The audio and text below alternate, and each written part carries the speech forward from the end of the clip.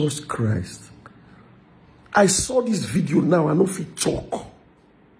Bro, do you know that it was Peter Obi that made Goodluck Jonathan commission the construction of the second Niger bridge? Where then Buhari want to take glory so? They already started the project during Peter Obi tenure. Oh, they look me like how they talk. The okay, let me not even talk again. Let me just keep quiet. Watch the video. When you watch the video finish, your respect for Peter Obi will move from 100% to 220. What am I saying? 300. What am I saying? 400. What am I saying? 1000%. Listen, listen. See all this solo the way they attack. They don't. Ah, Jesus. Alex Oti, the Labour State uh, uh, governorship candidate for for Anambra State, actually said even Peter Obi they made mistakes in a 150 uh, million dollars in Peter. Alex Otti said that 155 million dollars. Some of the investment is even still available to reap dividends by 2023. Come on, if you see if you don't vote for Peter Obi now, man, you don't talk to me again. Don't talk to me again. Hope for the construction of a second Niger bridge has brightened as the federal government is set to perform the groundbreaking for the project on March the 10th. This promise was made by President Goodluck Jonathan while receiving a delegation of a number of State indigents who paid him a courtesy visit. Led by the outgoing Governor Peter Obi, whose tenure expires on the 17th of this month, the delegation thanked the President for his support for Governor Obi and urged him to extend the same support to the incoming Governor, Mr. Willie Obiano. So we are the people who owe you the appreciation. No doubt.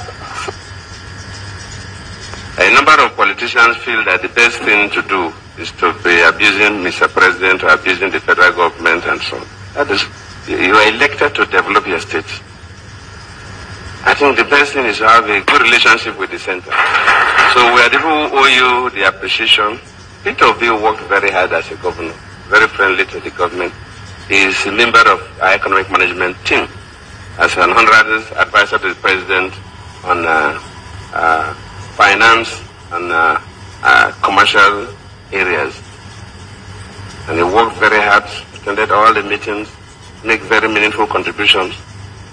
And in fact, I remember that even the day we announced that he may be leaving, in fact, the suggestion is that, look, we should still keep him even if he's no longer the governor of uh, Anambra State.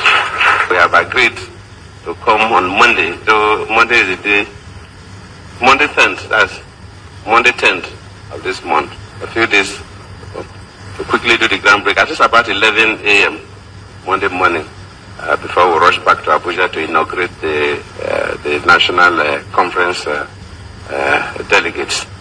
And I believe that after that inauguration, work will continue, if work is not already uh, taking place there. The Minister of Works have briefed me that already they have done a lot of mobilization. So we are coming to do real groundbreaking ceremony.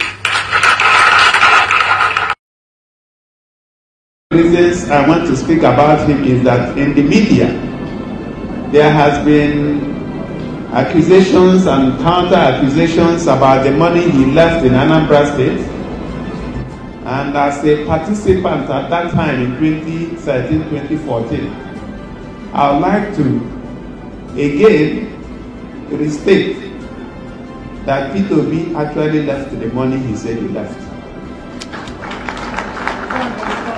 And I had documented it in my back page article that I wrote some two years ago on the 8th of June 2020. I happened to be the CEO of Diamond Bank at that time, and he came to my office. He wanted to leave the money in cash, and we said no. We strategized and said we'll invest the money in Euro bonds. I personally helped him exchange naira to dollar about 155 million dollars which were invested in the tier two capital of some of the banks and then in some euro bonds. Some of them have maturities up to 2023 so some of the monies have not matured